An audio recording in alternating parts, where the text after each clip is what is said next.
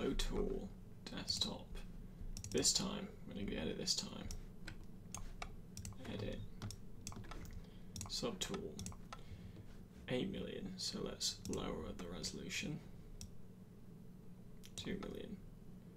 If we lower it again. Right, there we go. Duplicate. And this is at 512, so we're going to delete the lower. Where's the delete the lower? Geometry. Delete lower. Okay, that's locked in. Duplicate. Right. Uh, save this as this file. Yes, so we've still got the original, but we've got we're working gonna work more quicker now. Okay, so the low we want to just remesh. Uh, so let's use ZRemesher again. And we want 2000 polys, uh, maybe just a thousand polys. Remesh this, and it should be a lot quicker. Yes, it is. Great. Yeah, much lower res. Got some areas to fix up, but that's fine. And then we're going to come on to our high now. So the high is like this. It's now a fraction of the size it was, which is excellent. And we're going to decimate this to retain the detail. So if we go somewhere like here, for example, uh, decimation master, pre-process pre all. Oh, here we go. Cooking with gas now. Cool, that's pre-processed. And now we want to decimate it. Um, so let's maybe make it 5% and we decimate the current. And so you don't really, you know, between those two things, it's very hard to tell. Um, make it 10%. So essentially it's put loads of geometry in where the detail is which is exactly what we want because we want to retain that detail for the bake. So that's our high. So all we do now is we export them both. So what did I call this? Bake object a high. Save. And we do the same with this. We export this and call it low. So the low will be our game mesh um, so that's all peachy. And we can save that as well. Yes. So we still have the original and the high and the low. Um, and now in Modo, I need to. You can UV in um, subs in ZBrush, but personally, if it's I quite like doing the lows in um, in Modo just because I do. Um, so all we do is create a new map, text, uh, UV map, get that open, Uh, an edge that's kind of going all the way out on the outside, UV, unwrap, two islands, bam, done, jobs are good one. Relax these a little bit, and pack them, and just vertex normal toolkit, and then soften edges, and reset, and we're done. Okay, so we've saved that, we've adjusted the normals, um, and we've got some UV islands, so this is ready to go. I've saved it, so that that's now overwritten. So the reason I'm using Marmoset is because this visually shows you the cage when you're baking, which I personally think is super, super handy because Substance Painter and Designer well, all of them allow you to import a cage, but Painter and Designer don't show you visually what the sliders do when you're determining where your ray trace starts and ends, whereas in Marmoset it does. So we're in here, we're in, we're in. And if we go import model, and I want both high and the low, and now they're in. And then we also want to click on this new baker, this kind of baked bread button. And this gives us our baker group uh, with the things for the high and the low. So all we do is we drag the high into the high, the low into the low, and as you can see, you can see how high the high is compared to the low by just clicking on it. So we go to our baker and we can set which kind of maps we want out, so we'll get all the ones which, um, uh, so we've ticked all the ones on that we want. 2K, we'll send this to the desktop, uh, yes, uh, we'll call it um, Marmoset Toolbag 3 bake object a1 save. Now so if you click on the low uh, yellow icon this is where we can see our cage. So you can see it already this kind of like ghostly outline above the surface. So this determines where the so it's like a when you bake stuff you're firing or the engine is the baker is firing um, array at the mesh, and then depending on the nor the normal of the surface of the mesh it's going to determine what it bakes or kind of how it bakes, the information it bakes. Um, and then you fire it from a starting distance on the outside of the model to uh, a position inside the model. And for me, Marmoset, it's no one's done this yet, and I think it's really good for when you're first learning um, you can visually see where the mask is going to pull the information from. Um, just before I carry on, I'm just going to turn this down to 1024 so that we get faster bakes. So you can see it's kind of ghostly around the edge of the mesh here. And then if we, we can increase that so it's huge or can shrink it, shrink it down.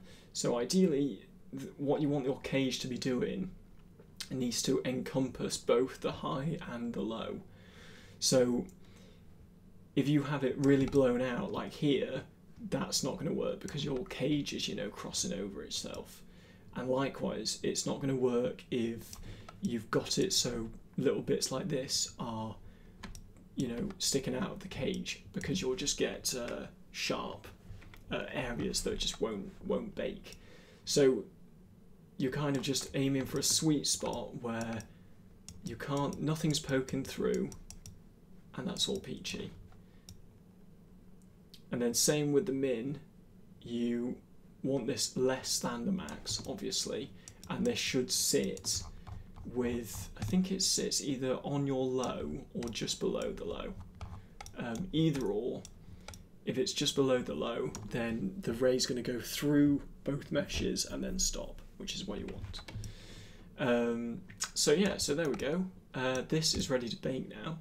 And all we do is we go to the toast icon on, on this bread thing at the top and you just press it. We bake away. And yeah, it's baked all everything out. So let's have a look. Okay, so what's this? Position data, world space normal data, our normals, height data, curvature, AO.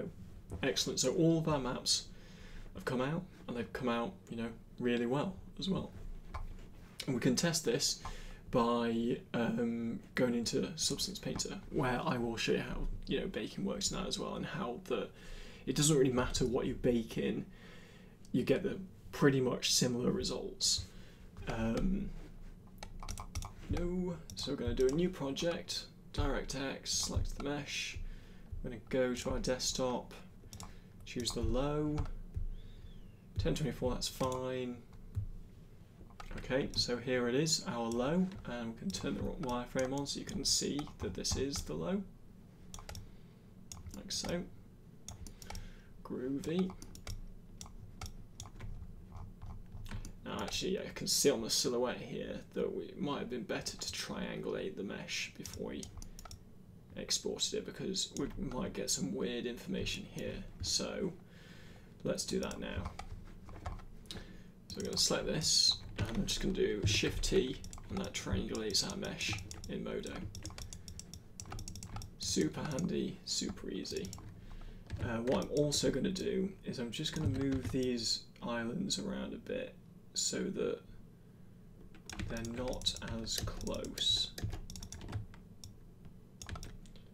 and this will just help with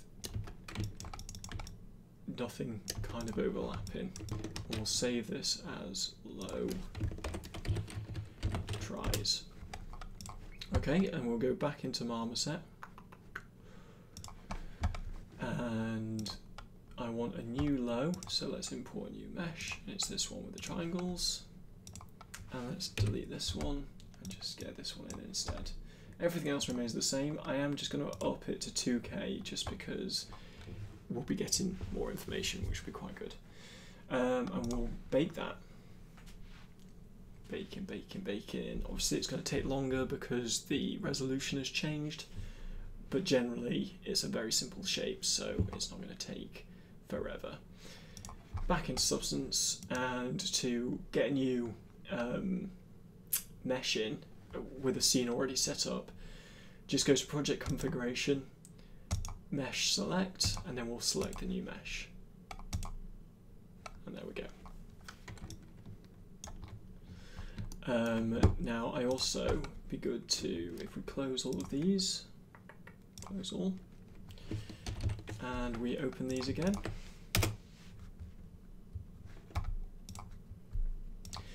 And these are same again. Um, all that's changed is the resolution. So that's really great. If we close these again, go back to Substance Painter, go back to Paint, um, so let's just get import those maps to start so we can see what Marmoset gives us without having to bake in here. So remember everything you know is super compatible between programs. Like they're just images at the end of the day. Import. And then all we do is scroll down here where it says select normal map and stuff. We're just literally dragging and dropping stuff into the correct place. So normal information, AO information, world space normal information, uh, is this curvature, this is position, and that's it. So we don't have a thickness map, I'm sure it could be one, and we don't have an ID map because we don't need one. Uh, so what's interesting here is we're getting a really harsh seam right here. That could have been caused by, so it's actually quite interesting. So if we get our, this one object. Okay, so we've got this. Now, as you can see, you can see the UV islands, but it drops off at the very edge to just purple there's no bleeding and that's what's causing the issue. No padding, yeah, there we go. We bake textures, everything apart from the ID, we'll bake it at 1024 and we'll just bake the high in here. And then this is where the cage comes in handy. This is where you can't, you, excuse me, you're given the um, the sliders, but there's no visual representation, so that can be quite difficult to judge if you're encapsulating the mesh. And let's bake all of these.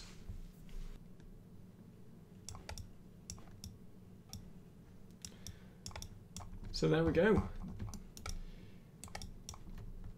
You can see we are getting more of a bleeding effect, so that might be what's helping it out.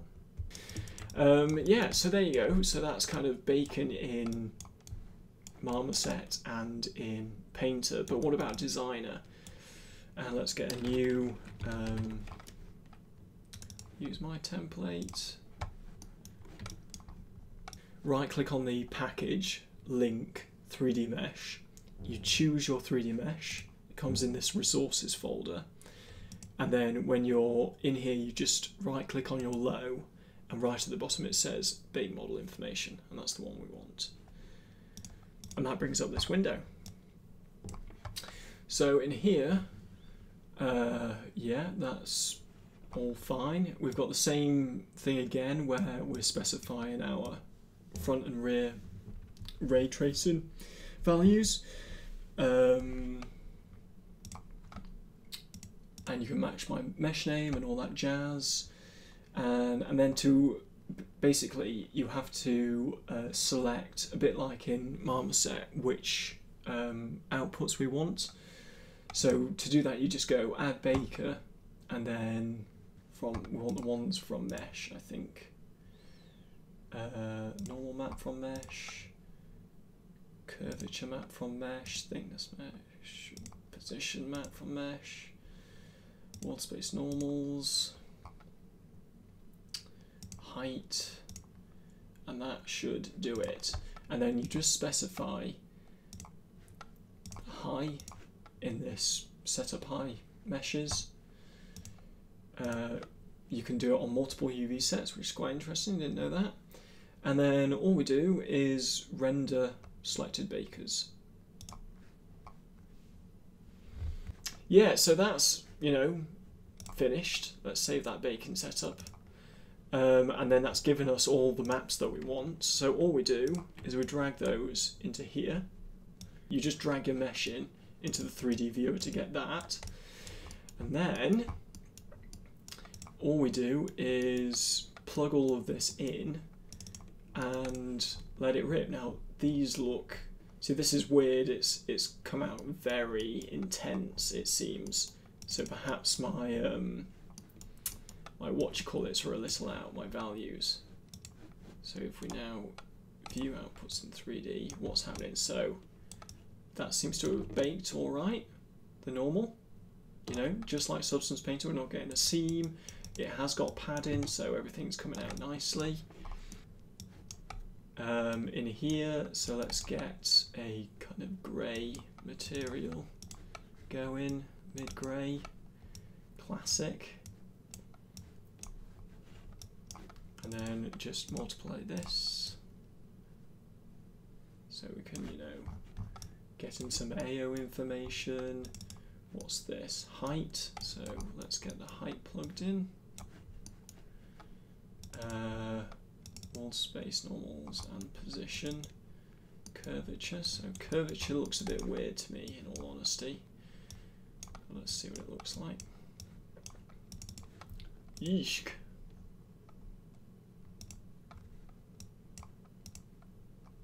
Yeah, it looks a bit intense I don't personally I don't think that looks correct and if we get a curvature node, curvature smooth and grab that from the uh, hold on, let's just boost these. Hmm. Ah, it's because it's coming from the wrong one. That would make sense. So that's how the curvature map should look, whereas this look like looks like an over-egged version.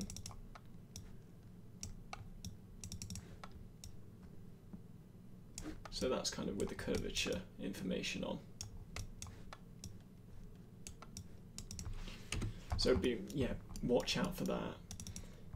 Uh, and thickness as well, don't really need. But then what we can use is we can come in and get our like weathering stuff, mask generators, that kind of thing. Just general dirt. Okay, so here's a good one. This is really what we were going for. Uh, so in this one, in the dirt, we want the AO. So AO. Then we want the curvature. Then we want the position. This one, I think. Position. World space normal. And that's given us dirt. And there we have it, dirt. Using the information that we've got. So yeah, it's kind of like multiple ways, I suppose, of, of doing things. Uh, let me just turn the environment on and get a gradient map for this. Uh, maybe like that. And then we put a gradient map on this, put that into there, and then maybe we have use this as a mask as well, maybe histogram scan, push up the position, push up the contrast a bit, and then we blur it ever so slightly and put that in as the mask. Looks terrible. but that's because our base is just the base grey. So what if we uh, just make that just sort of rock colour.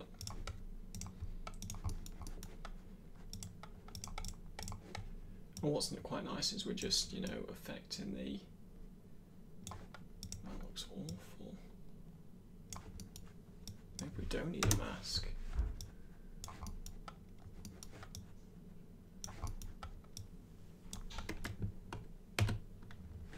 There we go. I think that's that's working better.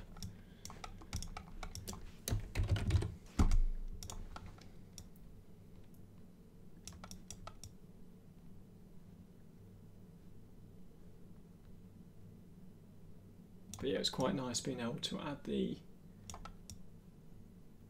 kind of add things in a nodal capacity rather than anything else. Now you can see the seam coming through again. So that might be another downfall of doing it this way, but you could create your you know your rocky surface, export that out as a material, and then get that back into Substance Painter Whereas, you know, in Substance Painter, we can literally just come in now and go smart materials. Is there some kind of rock we can use?